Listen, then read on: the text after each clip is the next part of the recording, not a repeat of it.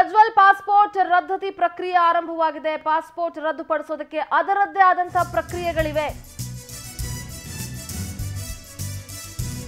As I told ಅದಕ್ಕೆ ಅದರದೇ ಆದಂತಹ ಒಂದಷ್ಟು ಪ್ರೊಸೀಜರ್ಸ್ ಇದೆ. ಸುಮ್ಮನೆ ಅದನ್ನೇನು ಕಡಲೆಪುರಿ ಪೇಪರ್ ಅಲ್ಲ ಅದು. ಇಟ್ಸ್ ಅ ಪಾಸ್ಪೋರ್ಟ್ ಅದನ್ನ ಈಸಿಯಾಗಿ ಹಂಗೆ ರದ್ದುಪಡಿಸೋಕ್ಕಾಗಲ್ಲ ಅದಕ್ಕೆ ಆ ಪ್ರಕ್ರಿಯೆ ಆರಂಭ ಆಗಿದೆ. ಅದಕ್ಕೆ ಅದರದೇ ಆದಂತಹ ಒಂದಷ್ಟು ಪ್ರಕ್ರಿಯೆಗಳಿವೆ. ಸೊ ಅದೆಲ್ಲವನ್ನ ಕೂಡ ಪೂರೈಸಬೇಕಾಗತ್ತೆ.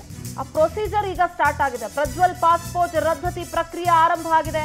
This is something major passport ರದ್ದುಪಡಿಸೋದಕ್ಕೆ ಅದರದ್ದೇ ಆದಂತಹ ಪ್ರಕ್ರಿಯೆಗಳಿವೆ. ಆ ಪ್ರಕ್ರಿಯೆ ಆರಂಭವಾಗಿದೆ ಅಂತ ಕಲಬುರಗಿಯಲ್ಲಿ ಕೇಂದ್ರ ಸಚಿವ ಪ್ರಹ್ಲಾದ್ ಜೋಶಿ ಹೇಳಿಕೆಯನ್ನ ಕೊಟ್ಟಿದ್ದಾರೆ.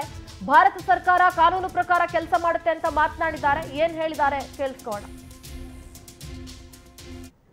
ಯಾವುದೇ ಡಿಪ್ಲೊಮ್ಯಾಟ್ ಪಾಸ್ಪೋರ್ಟ್ ಇತ್ಯಾದಿ ರದ್ದು ಮಾಡಲಿಕ್ಕೆ ಅದರದ್ದೇ ಆದಂತಹ ಪ್ರೊಸೆಸ್ ಇದೆ. ಮತ್ತು ಡಿಪ್ಲೊಮ್ಯಾಟ್ ಪಾಸ್ಪೋರ್ಟ್ ರದ್ದುಪಡಿಸಲಿಕ್ಕೆ ಹೈಕೋರ್ಟ್ ಕೋರ್ಟ್ನಲ್ಲಿ ಎಫ್ ಐ ಆರ್ ಇತ್ಯಾದಿ ಫೈಲ್ ಮಾಡಿದ್ದಾರೆ. ನಾ ಕೇಳುವ ಪ್ರಶ್ನೆಗೆ ಇವತ್ತಿನ ತನಕ ಸಿದ್ದರಾಮಯ್ಯ, ಡಿ ಕೆ ಶಿವಕುಮಾರ್ ಮತ್ತು ಪರಮೇಶ್ವರ್ ಅವರು ಉತ್ತರ ಕೊಟ್ಟಿಲ್ಲ. ಇಪ್ಪತ್ತೊಂದನೇ ತಾರೀಕು ಈ ಎಲ್ಲ ಕ್ಲಿಪ್ಪಿಂಗ್ಸ್ಗಳು ಪೆನ್ ಡ್ರೈವ್ ಮೊದಲನೇ ಪೆನ್ ಡ್ರೈವ್ ಬಂದದ್ದು ಇಪ್ಪತ್ತೊಂದನೇ ತಾರೀಕು.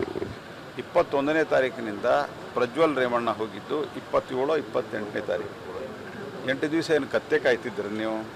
ಉತ್ತರ ಯಾಕೆ ಕೊಡ್ತಾ ಇಲ್ಲ ನೀವು. ಯಾಕೆ ಅವ್ರ ಮೇಲೆ ಎಫ್ ಐ ಆರ್ ಮಾಡಿ ಅವ್ರನ್ನ ಡಿಟೈನ್ ಮಾಡಲಿಲ್ಲ ನೀವು? ಈಗ ಅಲ್ಲಿ ಹೋದ ನಂತರ ಯಾರನ್ನೇ ಆದರೂ ಸಹಿತ ಅಲ್ಲಿ ಹೋದ ನಂತರ ಅವ್ರನ್ನ ಅಲ್ಲಿಂದ ತರೋದಕ್ಕೊಂದು ಪ್ರೊಸೆಸ್ ಇದೆ.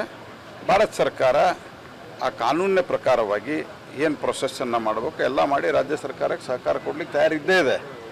ಅದರ ಪ್ರಶ್ನೆ ಇರೋದು ನಾವು ಬರೋದ ತಕ್ಷಣ ಆಗಬೇಕು ಅದಕ್ಕೆ ಬಿ ಜೆ ಪಿ ಮೇಲೆ ಅದನ್ನು ಹಾಕಬೇಕು. ಈ ಒಟ್ಟಾರೆ ಯಾವುದು ಗೌಡ ಸಮುದಾಯದ ಅಥವಾ ಒಕ್ಕಲಿಗ ಸಮುದಾಯದ ಓಟಿವೆ